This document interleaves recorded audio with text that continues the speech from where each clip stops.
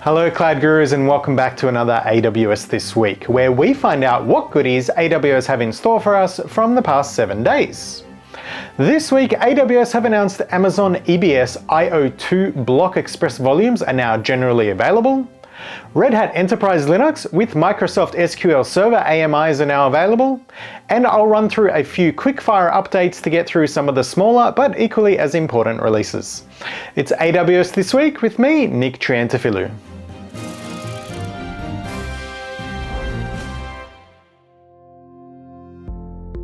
Alright, the big announcement this week is that AWS have announced that EBS IO2 Block Express volumes are now generally available.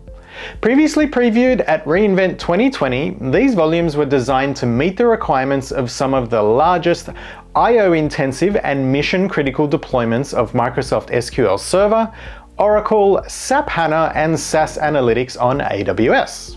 Together with Amazon EC2 R5B instances powered by AWS Nitro, it's able to provide the best network attached storage performance available on EC2.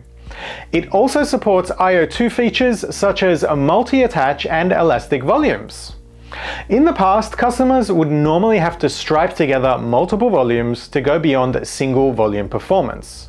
But now IO2 volumes can meet the needs of mission-critical, performance-intensive applications without striping and the management overhead that goes with that. Very cool.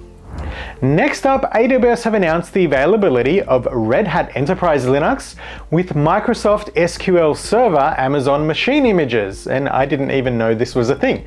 Customers can now combine the scale, performance, and elasticity of EC2 with the consistency, reliability, and high performance of Microsoft SQL Server.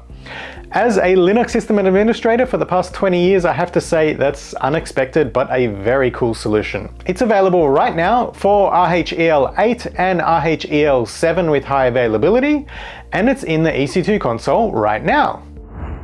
Alright, let's get the quickfire updates going. AWS Code Build is now available in the Osaka region. Amazon Transcribe now supports streaming transcription in Amazon Web Services China. AWS Glue Schema Registry is now available in AWS GovCloud regions. Amazon Redshift data sharing is now available in GovCloud regions as well. AWS Systems Manager Automation now supports the upgrade of SQL Server 2012. AWS customers can now view all of the labels supported by Amazon Rekognition.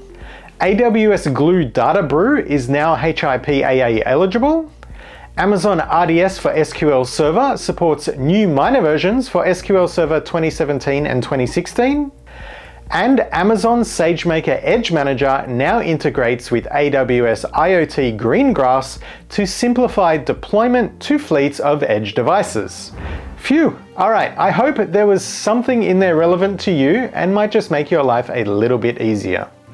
Alright, that's all for me this week. Thank you for watching, keeping awesome cloud gurus, and we'll see you next time.